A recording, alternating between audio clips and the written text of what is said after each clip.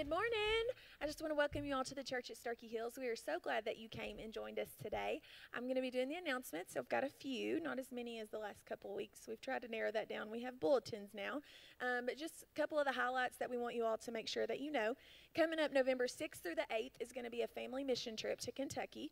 You can contact Clark about that. He's the uh, youth minister here.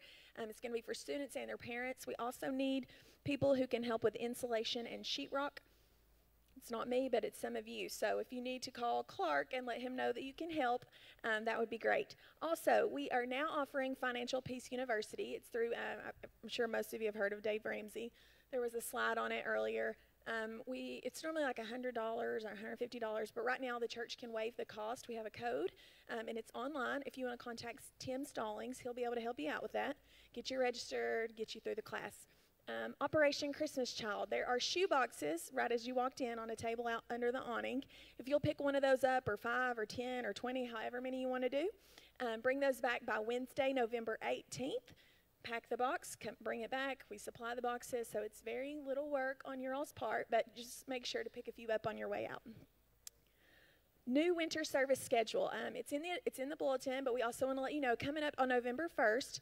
We're going to start changing things up a little bit. Inside services will be at 8 o'clock and 11 o'clock. Um, so if you come to the 10:30 and you're like, I could get up earlier, you can come at 8. Um, and if you're like, no, I can't, you can come at 11, come a little bit later. Um, and then we'll also have the drive-in service at 9.30 in between. We'll also start life group that, that same Sunday, November 1st at 9.30. Uh, there'll be a few classes that meet upstairs, so if you need a life group, you can get plugged in.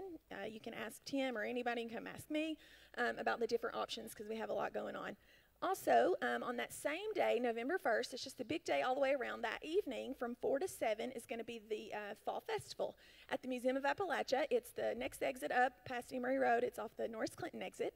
You take off the exit, go the right a little bit. Um, from 4 to 7, there'll be food trucks, um, I think like three or four different food trucks.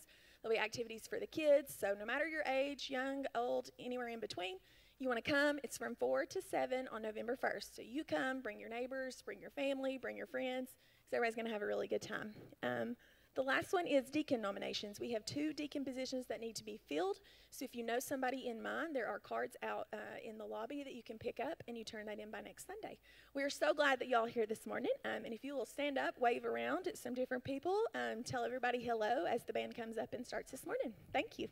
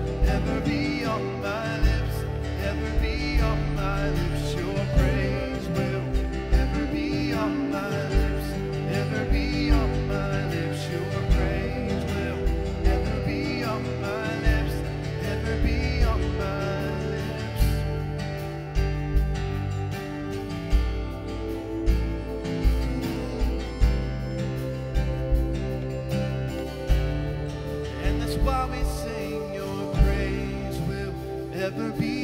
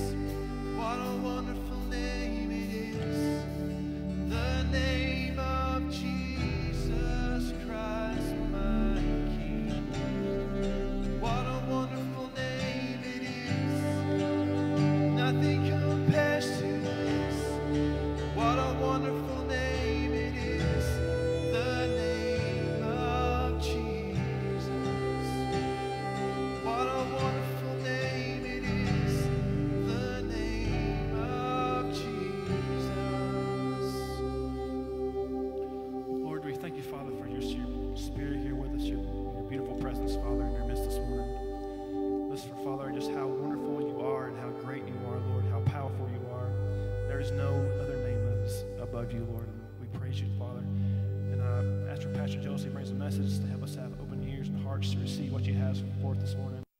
In Jesus' name,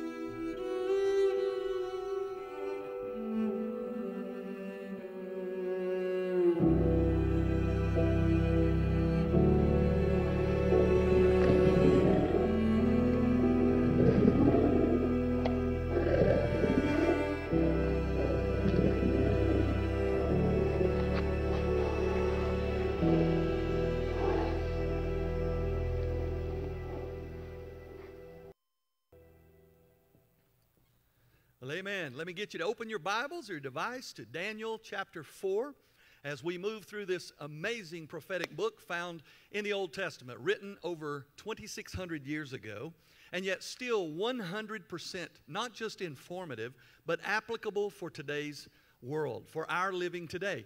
God is incredible how He writes an eternal word, a word that lasts for all of eternity. You see, in the future, as far as we can possibly imagine in that eternal realm, God's word is still accurate, timely, and real. And so that's where we live today. So to the title of today's message is this Watch the Point. Not what's the point. I didn't say that with an, an impediment. Watch the point. Now, let me tell you what that's talking about. If we look at people's lives and we see what they point at most, we watch the point, it will tell a tremendous amount about the heart of the individual. And in today's passage, in today's chapter, we're going to see uh, what, what the king Nebuchadnezzar really was all about. at the end of his journey. And, and so uh, this illustration comes from this idea.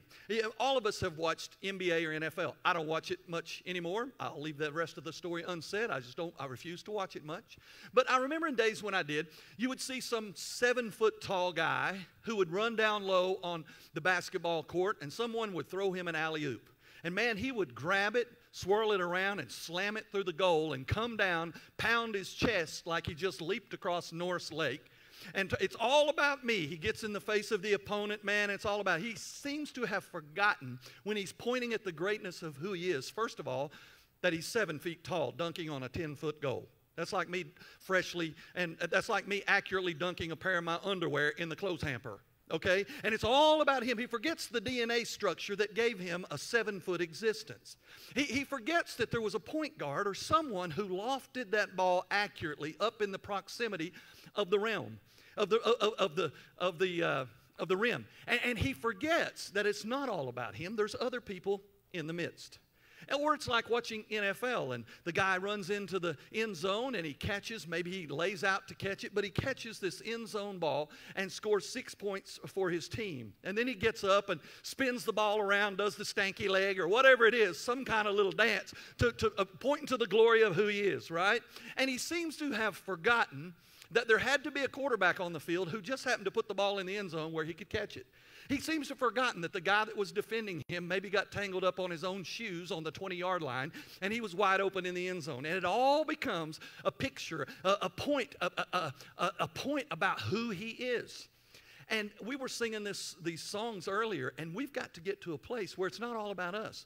Now, it, it, sometimes it's easy, and we'll, we'll unpack this today. It's easy to be about me, me, myself, and I. Uh, Kendra, sometimes she says, your message was good, but it had way too much I in it. You know, she, I say, get thee behind me, Satan. I just keep moving, okay?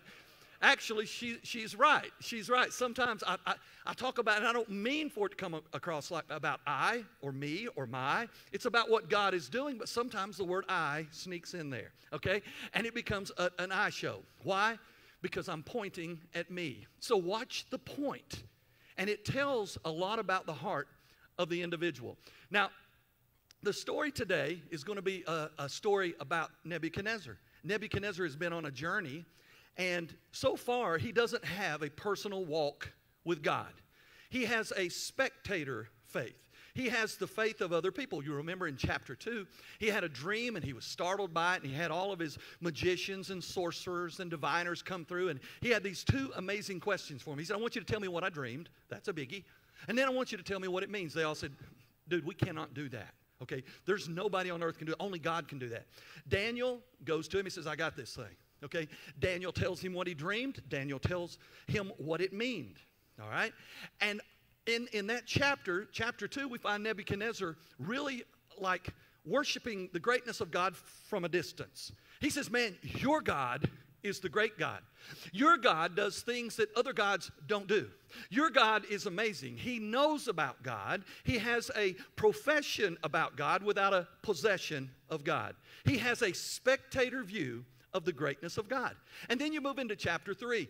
Chapter 3, uh, the, some of the Chaldeans come to him and they say, Listen, you told everybody to worship the big skinny. That's what I named the 90 foot by a nine foot statue in the middle of the plain of Dura, the golden statue. They refused to worship Azariah, Hananiah, and Mishael, their godly Hebrew names. You know them by their Babylonian anti ungodly names Shadrach, Meshach, and Abednego. They didn't worship. And so he says, I hate it, fellas. We're going to heat up the furnace and you're going in it. They get in the furnace. Nebuchadnezzar comes looking and he says, he took an inventory and it was kind of funny. He says, uh, weren't there four? You know, he lost count after three. They say, yeah, there were, there, were, there were three. I mean, weren't there three? Yeah, there were three. Now there's four. And so they get them out. They don't even smell like smoke. And he's amazed by their God. So he tells everybody, listen, nobody talk bad about the God of, of uh, Shadrach, Meshach, and Abednego. So once again, Nebuchadnezzar had an idea about God. He had thoughts about God. He even had a profession about God. Still, no possession. Now, that's the world we live in today. Welcome to 2020. We have a lot of people in the world that talk about God and yet they don't know Him. They know somebody else's God. They don't walk with him in a personal way. Now, Nebuchadnezzar was at the peak of his popularity, the peak of his success. He had conquered all these lands, he had accumulated tons and tons of wealth, and he had every reason to be about himself, but something happened. Now, today, if you watch many movies, a lot of times a movie or a show will start out and they start out with the conclusion of the movie.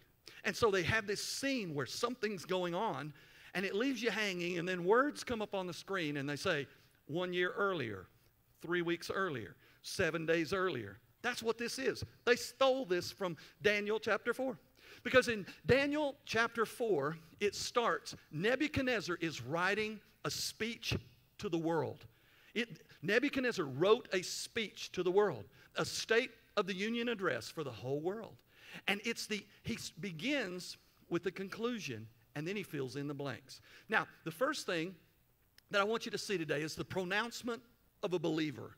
The pronouncement of a believer. Watch what it says in verse 1. Something's happened in the night in the life of this king. It says King Nebuchadnezzar to all peoples, nations, and languages, language groups that live in all that land, peace and prosperity.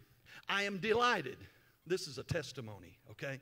I am delighted to tell you about the signs and wonders that the Most High God has done for me. Okay, the pronouncement of a believer looks like this. It's not what God has done for somebody else, it's what God has done for me. He says in verse 3 How great are his signs, how mighty are his wonders. His kingdom will last forever, and his authority continues from one generation to the next. Now, it's the pronouncement of a believer. Now, in this church today, meeting here earlier in the parking lot, we have a lot of people who claim Christianity. A lot of people who say they know God. A lot of people who act and would speak as if they have a relationship with God. But often, even in the church, there are people who have a faith, the faith of someone else. They've never owned their own faith. They've never taken ownership of their relationship and their walk with God. They live in a world of spectator Christianity. Like, yeah, I know about it because somebody else has experienced it, and this is what it looks like but it's just not really tangible to them. They don't walk in the grace of Jesus. They don't walk in an understanding of the eternal counsel of God's word. They just they aren't there yet. So they they elaborate and speak of somebody else's faith. Nebuchadnezzar gets it. Nebuchadnezzar, something has happened in his life where the switch is on. It, he's had a defining moment with God. He, he's had a cathartic moment that reached in the depth of his cold, callous soul, soul and flipped the switch on and says, Wow, you're real and you're here for me? Now, that's where we have to be. Now, notice what he says at the end of that. I think in verse 3, he says, Listen, I am pleased to tell you what God has done for me. You know, in today's vernacular, we would say, Can I get a witness? Okay? That's what he's looking for. He's looking for a testimony. That's what God is looking for. Listen, church, it's time as Christians, we came out of the closet. Everybody else coming out of the closet, no matter what it looks like, okay? As Christians, we need to come out of the closet. We need to step into the light and begin to share our testimony. Now, let me tell you one, one way you can kind of know at times whether or not you have a real walk with God. You won't be as quick to talk about somebody else's experience with God you won't be as articulate about sharing somebody else's faith. But now listen to the pastor. When the God of the universe, the eternal, true, and living Yahweh, when He sends His Holy Spirit, part of who He is, into your world and begins to stir in the depth of your soul, and you have this keen awareness of why is God speaking to me? And then when you hear the truth about Jesus, his son, and how we have a relationship with God and we can be right with God through Jesus. And all of a sudden the light comes on and we surrender to that. It looks like Nebuchadnezzar's life in chapter 4 where all of a sudden, man, in this world of brokenness, in the conversations we have in our family, in the conversations we have in our workplace or on our teams and in our schools and everywhere we go, all of a sudden we have something to say. We can weigh in. And it sounds like this man, that's awful. But I'm pleased to tell you about what God did for me. Because what God did for me, He could do for you. The pronouncement of a believer. If you never share a testimony, If you never if you never share what God has done for you, the question is, has he really done something for you? And if not, then this could be the day that he could. Now, number two, I want you to notice the preoccupation of humanity. Now, Nebuchadnezzar is going to go back in time. He's going to say, All right, this is the conclusion, but I need to tell you how I got here. I need to tell you what happened, what God did for me that I'm pleased to tell you about. And I'm telling the whole world about this, all languages and all peoples. I want everybody to know it. The preoccupation of humanity, it looks like us. Verse 4. He says, I, Nebuchadnezzar, was relaxing in my home, living luxuriously in my palace. The preoccupation of humanity is ourself and our comfort and our contentment and our prosperity. Now, you know it's true. You are more interested in you than you are the person next to you. And really, the only exception to that is when you have small children and then when you have grandchildren. And all of a sudden, they become the focus. But for the most part, our, our default uh, mode is to be all about me, myself, and I. It's, it's, it's the nature of who we are. If you know somebody close to you that, that is that way, say amen. Amen. I know who you were thinking about your spouse. Listen, don't say amen on that one. Do not say amen right there. It's not a good place. Okay? That's who we are. Our default mode is to be is, is to be just conscious about our own way and our own will and what makes us comfortable and what is in it for us. It, it even creeps in the church. Here's what it looks like in the church. Uh, I visited your church, but uh, that music, man, I, I just don't like the new stuff. You know, I, I like the old stuff. Yeah, that's because you old. Okay? I can say that because I am old okay? Uh, uh, the music was just, it was too loud. It was too loud. It's because you have old ears, okay? Turn your hearing aid down, okay? Well, I, I, the, the, preacher, he, he needs to, I want to be entertained. You see, I, I have a, a ADHD, A, B, C, D, E, F, G, and I can't pay attention. And so the, the, the pastor needs to really like in, in entertain me. I want to hear some funny stuff, and I, yeah, I want to hear the depth of the word. I heard somebody the other day, yeah, I, we just want more word. When you get the word I shared, I'll give you some more. That's the way that works. Because there's more where that came from. Okay? Now, now it, that's what the world we live in. And, and, and then we have children. We have babies. Now I want to come to church and I want somebody to look after Junior. Okay? And I want him to be well taken care of. I want him to get some goldfish at the right time. But not, the, not all goldfish because they have an allergy. So I need the special goldfish because Junior's special okay? And I want somebody to keep them. Now, I ain't going to keep them. I keep them all week long. Well, you should. They're yours, okay? But I ain't sharing on Sunday. I'm not doing that. And then at the end of the day, they're going to stand out there with a bucket, and I am so glad somebody else is paying for all this stuff to make me happy because I ain't giving my money. About two thirds of the people never give anything, but they enjoy the benefits of somebody else's labor.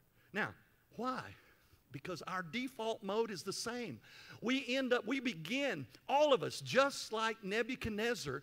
I was in my palace enjoying my life, everything was good in my hood, and that's when something cathartic, something significant happened. Listen, most people, when they got saved, they say, Well, you know, I, I hit a hard time and I started just searching for the Lord. You don't have to search for the Lord, He ain't lost. You're lost. Okay?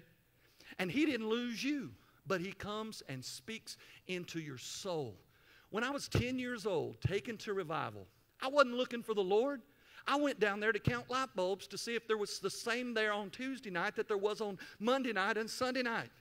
I wanted to go down there and count who had brown hair, who had gray hair, who had no hair. I was down there for a whole different reason, and yet the God of the universe, I was in my little palace enjoying being content with my personal prosperity in my comfortable little world, and God of heavens reached down and said, That's not what I put you there for.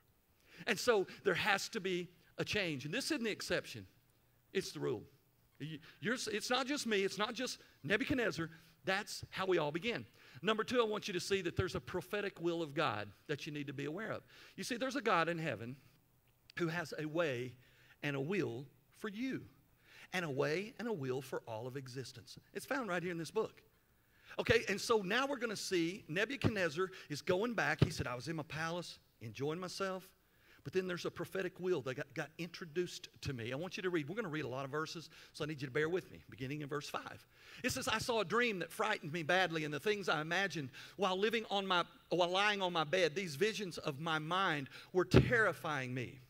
He goes on, he says, So I issued an order for all the wise men of Babylon to be brought before me so that they could make known the interpretation of the dream. Now, he hadn't met God yet, he just knows about God. It's not personal. It's a, it's a profession, not a possession yet. So what does he do? He goes back to the same losers as before. They didn't know anything before. They still don't know nothing today. Here's what it says the magicians, the astrologers, the wise men, and diviners, they all entered. And I recounted the dream for them, but they were unable to make known its interpretation to me. Verse 8 later, Daniel entered. Yeah, Daniel, the man of God, the person with God in him. He shows up, whose name is Belteshazzar, after the name of my God, in whom there is no spirit, in whom there is a spirit of the holy gods. Now, let me pause right there. See, ne- Nebuchadnezzar knew something was different about Daniel. Now, Daniel was his Hebrew godly name, okay? He had named him Belteshazzar about an ungodly Babylonian god. But he knew there was something different about him. So, what is, how does he define it? Because he doesn't know God. He says the, the, the spirit of the gods, lowercase g, the, the, the pantheon of gods. Okay, the lowercase g, there's something, there's a spirit of those gods are in him. Daniel would say there is no gods out there. Certainly they're not in me. He has one God in him. Now it says he recounted the dream for him as well. Belteshazzar, chief of the magicians, this is Daniel, in whom I know there to be a spirit of the holy gods, in whom the mystery baffles, consider my dream that I saw and set forth its interpretation. Here are the visions of my mind while I was on my bed, while I was watching. There was a tree in the middle of the land, and it was enormously tall. And the tree grew large and strong, and its top reached far into the sky. It could be seen from the borders of all the land. And its foliage was attractive, and its fruit was plentiful. And on it there was food enough for all. Under the wild animals, uh, under it the wild animals used to seek shade, and its and in its branches the birds of the sky used to nest, and all creatures used to feed themselves from it. Man, this is okay. Now pause right here. Here's what he's saying. He says, Man, I'm seeing, I'm laying in my bed, I'm having a dream, a vision, and I'm seeing this enormous tree, and it's beautiful. The foliage is beautiful, the fruit is amazing, and and and all everybody there's enough for everybody to live on. The animals are sh- in the shade, the birds are nesting in. It's a beautiful picture of success and prosperity. But he says, while I was watching in my mind's vision on my bed, a holy sentinel, a messenger from God an angel. He comes down and, and from heaven, and he says, he called out loudly. Now the thing, everything's going to change right now. He says, chop down the tree and lop off its branches, strip off its foliage, and scatter its fruit. Let the animals flee from under it and the birds from its branches, but leave its taproot in the ground. And with a band of iron and bronze around it, surrounded by the grass of the field. Let it become damp with the dew of the sky, and let it live with the animals in the grass of the land. Let his mind be altered from that of a human being, and let an animal's mind be given to him, and let seven periods of time go for him. This announcement by the decree of the sentinels, this decision is by the pronouncement of the holy ones, so that those who are alive may understand that the Most High has authority. Now he's going to tell him why this vision is happening, why Nebuchadnezzar's life is getting ready to change. Listen, when God tells us something, he, he often he will tell us why. Sometimes we say, God, I don't know why you're doing this to me. You know. Now, God, I don't know why I'm experiencing this, going through this right now. You know. And if you don't know, He will reveal it. He doesn't punish and hurt us and make life difficult for no reason at all. He's always has a prophetic will that He's operating, performing in our life. And so he says the Most High has authority over human kingdoms and he bestows them on whomever he wishes. He establishes over them even the lowliest of human beings. Verse 19 says, verse 19 should say, yeah, it's going to say. Then Daniel, whose name is Belteshazzar, was upset for a brief time, and his thoughts were alarming him. And the king says, Belteshazzar, he's speaking now to Daniel, he says, Don't let the dream and its interpretation alarm you. Now, let me pause right here. Daniel, Belteshazzar, has served Nebuchadnezzar for decades. He came as a boy. Now, 30, 40 years have passed, and he's been faithful, faithfully living for the true and living God in a heathen, ungodly world. And so now he has an audience with Nebuchadnezzar. And so now he, he's developed a friendship, man, with the king. And so he's troubled by this dream because he knows what it means. It says, Belteshazzar replied, Sir, if only the dream were for your enemies and its interpretation applied to your adversaries, but the tree that you saw that grew large and strong, whose top reached the sky and which could be seen in the land, whose foliage was attractive and its fruits plentiful and from which there was no, a food available for all under whose branches and wild animals used to live and in whose branches birds of the sky used to nest? It's you. He says boss this is not about the people you conquer. This is about you. In particular in your rosy little world in your happy little home in that place where you enjoy the prosperity that God has given you, in that place where life is good in your hood, this dream, this tree is you. And then he says, O king, for you have become great and strong, and your greatness is such that it reaches to the heaven, and your authority to the ends of the earth. As for the king, seeing a holy sentinel coming down from heaven and saying, Chop down the tree and destroy it, but leave its taproot in the ground, with a band of iron and bronze around it, surrounded by the grass of the field, let it become damp with the dew of the sky, and let it live with the wild animals until seven periods of time go by. Hold on. Go by, go back. Go back one slide. Go by for him. Now, all of a sudden, this dream, this vision that Nebuchadnezzar has had, it moves from an inanimate object, a, a, a tree, it goes from an it to a personal pronoun, him. It changes from that tree to this person. Now he goes on, he says, This is the interpretation, O king. It is the decision of the Most High. Pause right there. Let me just tell you something. When God makes a decision, you and I uh, can just live with it. There's no changing God, He's an unchanging God. So when He makes a decision, uh, we live by the decision He's made, regardless of the consequences. So He says, the, decision of the Most High, that this has happened to my Lord the King. You will be driven from human society.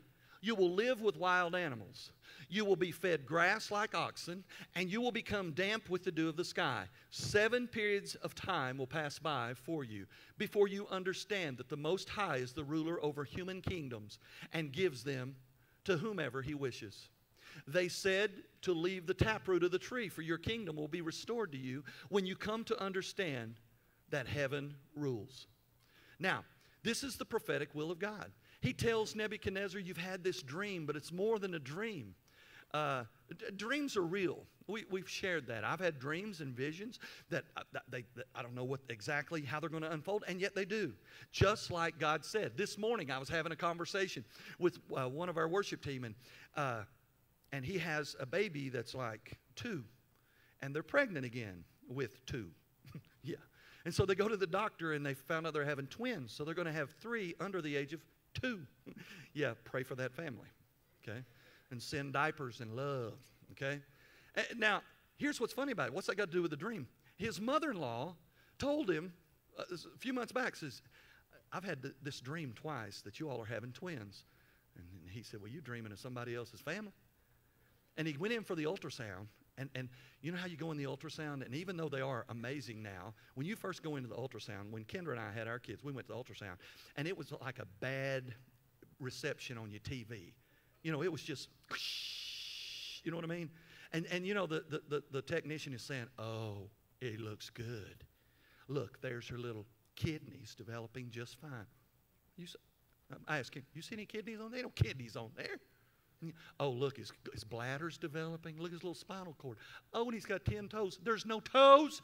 There's no bladder. There's no kidney. There's just psh, that's all we got. But in the middle of all that psh, there's something that's very distinguishable. Dum dum, dum dum, a little heartbeat. Okay? If you've ever seen that, you know. I mean, you can't, that ain't a bladder. It's not a kidney. It's not toes. It's a heartbeat. Okay? And he said he's standing there and she's rubbing that thing and he's looking. He goes, dum dum, dum dum. I said, Oh no, she was right. And they're having two. Now, I say that to say God often reveals things in dreams and visions. Now, we have to be careful in discerning if our dreams and visions are a dream and a vision from God or if it's just we ate too much salsa over at El Matate because that can cause some bad dreams and visions, you know? And, and, so here's how you know.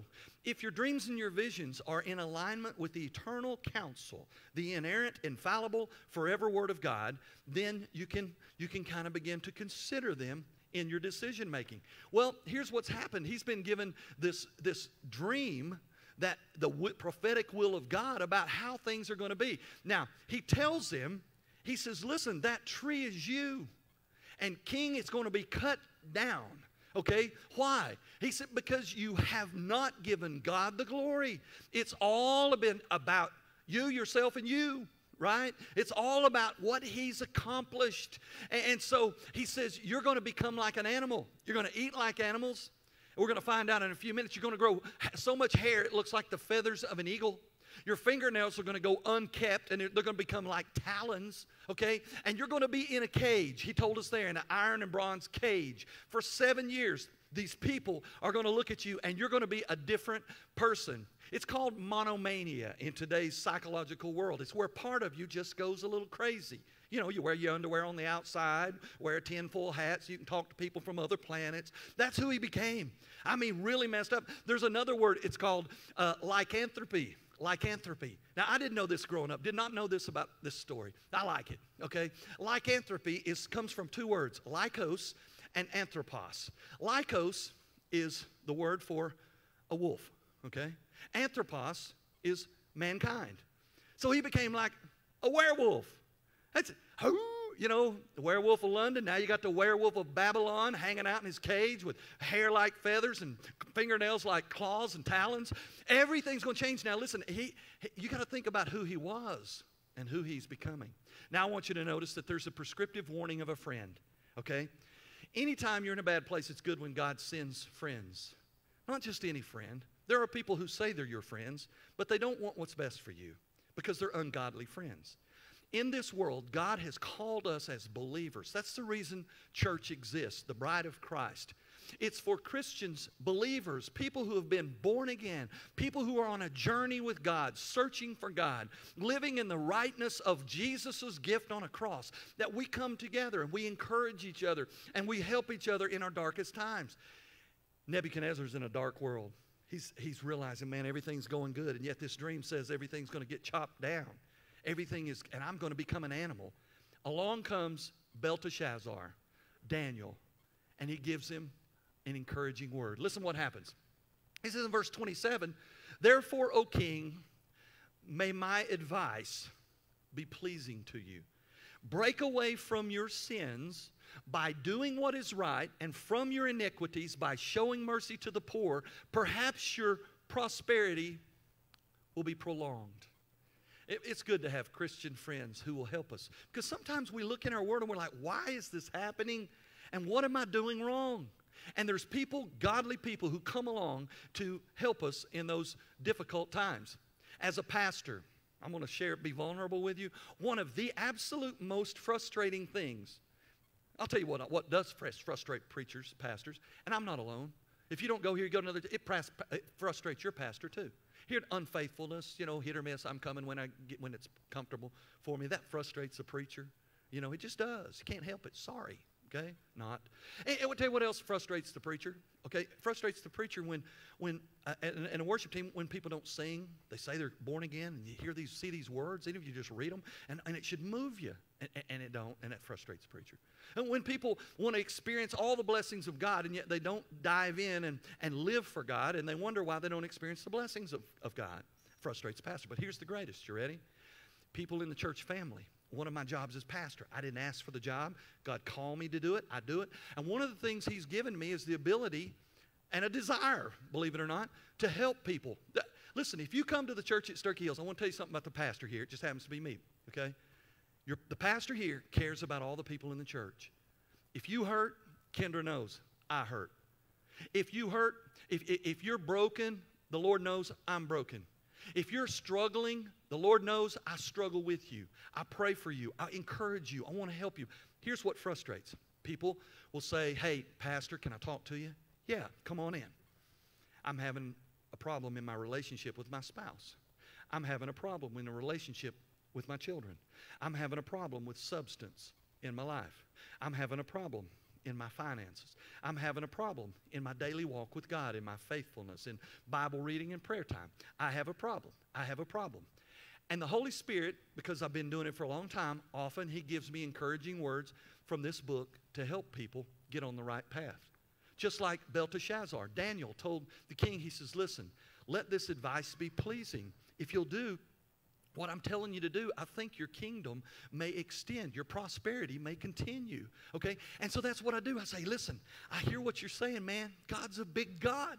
He's a big God and He'll help your situation, whatever it might be. He'll step into your world and He'll provide and He'll move and He'll change it. And, and, and here's the prescription. I'm going to give you a prescription straight out of this book because this is a book of prescription. Okay, here's what it says to do. If you will do what this says in this book, I believe God will change and intervene and step into the middle of it and affect your life for the better. And they're like, okay, okay, okay. And then they leave and they never take the prescription. They never do what God's counsel says to do. And what it is they're struggling with continues to fall. It continues to mess up their life. And I believe God sends people into our life to help us uh, discern God's will, apply it to our life, and experience healing, experience God's freshness in our world. Number five, I want you to see the prideful nature of man. He's been given good counsel from a godly friend. He's been told what he needs to do to make things get better. And, and said, how does it turn out? It turns out like it does in our world today. The prideful nature of man. I want you to understand our default mode is to think about how great we are, is to be consumed with pride. Look what happens in this verse. In this story, verse 28 says, Now all of this happened to King Nebuchadnezzar. He says, after 12 months, so a year goes by since he's gotten counsel from Daniel, and, and he still hasn't repented and done things God, God's way. He says, after 12 months, he happened to be walking around on the battlements of the royal palace of Babylon, and the king uttered these words. All right, let me pause right here. So he goes out on the porch, right? And he's looking around like, man, I'm, look at this place. Man, I am good, right? You remember uh, about 500 years before, there was another king who messed up when he went out on the porch?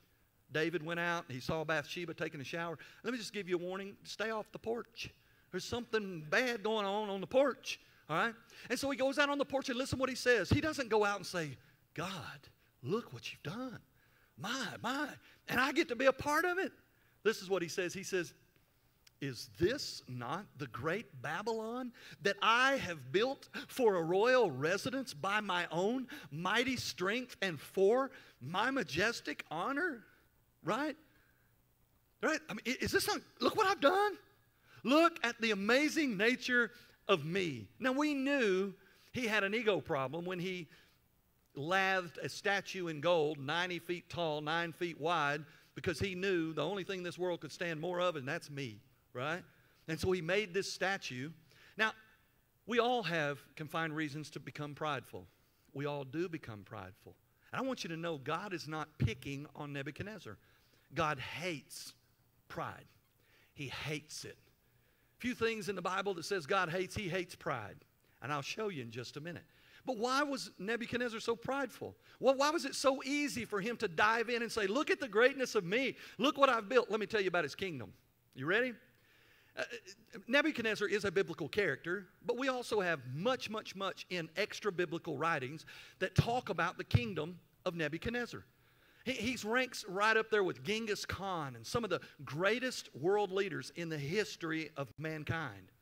His kingdom, check this out, his walls were 387 feet tall, right? 40 stories, like a third of the Empire State Building, his wall.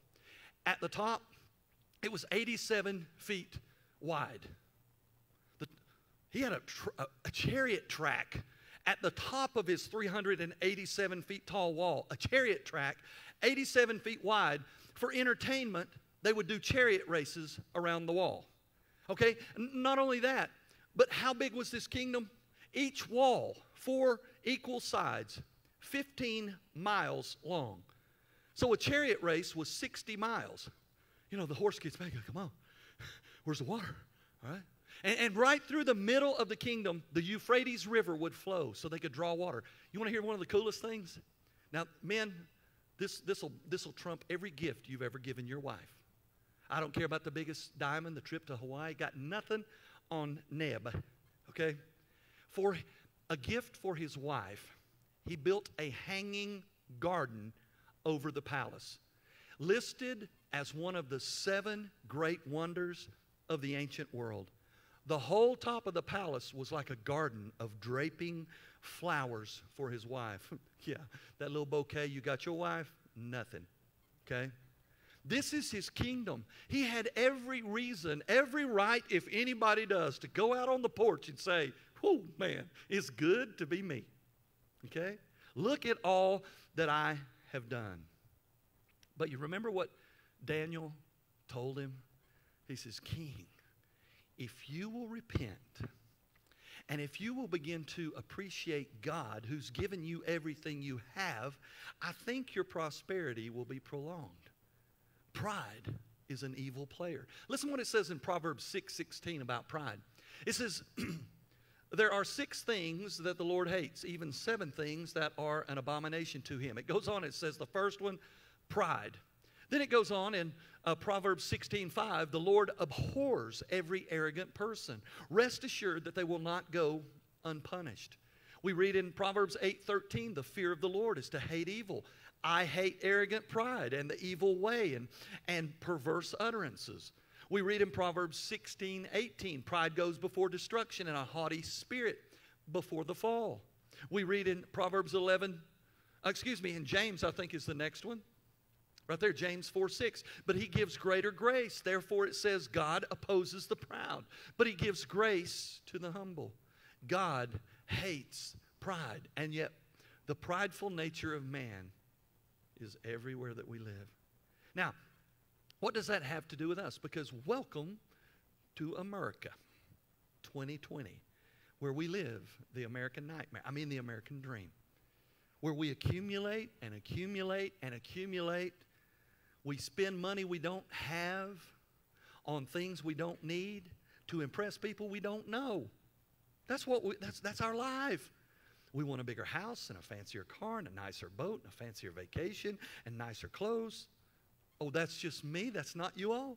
I thought it was everybody. It is everybody. Okay? It's the world we live in.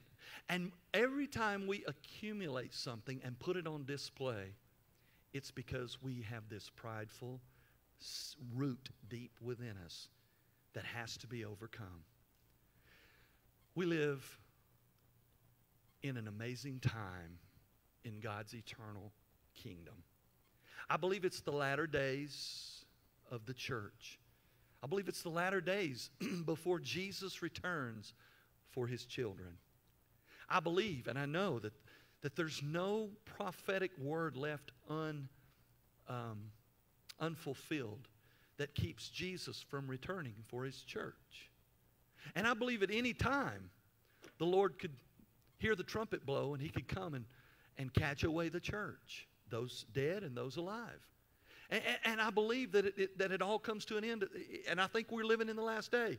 Paul thought the same thing, but I believe it today. I believe it's when we read prophecy and, and God's Word and we look at the events in our world, it seems like we're in the latter times. And all the while, God is still reaching out to us in hopes of connecting with us and moving us from that place, like Nebuchadnezzar, where we knew about a God, but we didn't know the God. Where we had a relationship with somebody else's faith rather than having our own. And I believe today that's the message that before we can receive that, we, like Nebuchadnezzar, have to realize that we have become comfortable and content and satisfied in our own little world. Meanwhile, there's a greater God reaching into the heart of it, inviting us to, to a personal, intimate walk with God. This passage began with Nebuchadnezzar saying, Man, I'm, it's my pleasure to tell you what God has done for me. And I want to ask you a serious question today. Do you have that testimony?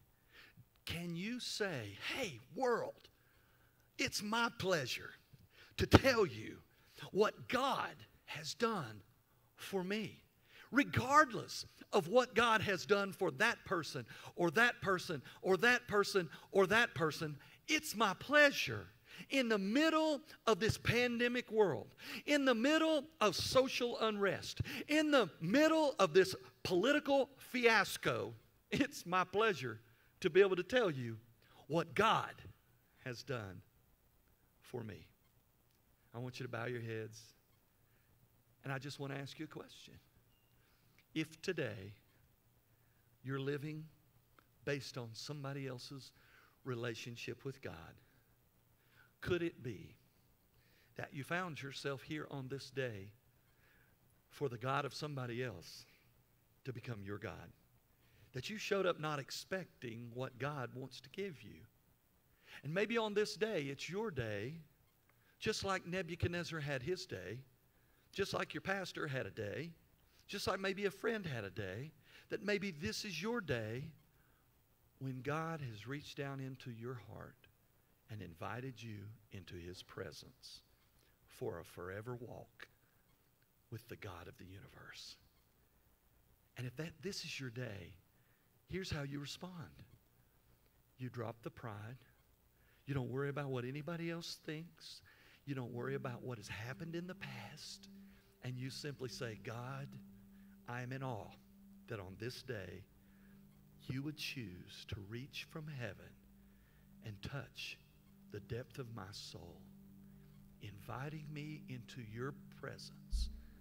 So it's no longer just a profession, the words of my mouth, but it can become a possession, the experience of my heart. God, I give all of my brokenness to you in exchange for all of the perfection of Jesus, your Son. The fact that He came and died on a cross for my sin just blows my mind. But God, I want to receive what Jesus has offered me forgiveness and grace and life in exchange for all of my sinfulness, for all of my curse, for all of my mistakes. Fill me with your Holy Spirit. Seal me, mark me as your child from this day, from this day forward, so that I will be, have pleasure in telling other people about what you did for me. Thank you for hearing my prayer. Thank you for saving my soul on this day. And for the rest of us, maybe it's time that we just get back to that moment where we say, God, I've squandered the gift. God, I have not lived according to the greatness that you gave me in Jesus, your Son, when He entered my life. From this day forward, let me, like Nebuchadnezzar, boldly proclaim that it is my pleasure to tell the world what God has done for me. If you prayed to receive Christ today, I would encourage you to let me or somebody know because it needs to be public. If today you're rededicating your life to live more fully and freely to Jesus, there's an altar down here. I would encourage you to come and pray that God would strengthen you. Father, thank you for this word today. Thank you for your Holy Spirit who moves in our heart to help us moving forward. Thank you for being a God of multiple chances like you were in Nebuchadnezzar's life and like you are in our life today. Thank you for always loving the unlovable, and that's us. We give you this moment. We ask that your Holy Spirit would help us respond as you would have it. In Jesus' name, God's people said, Amen. Let me invite you to stand. We're going to sing a song and then we'll be dismissed.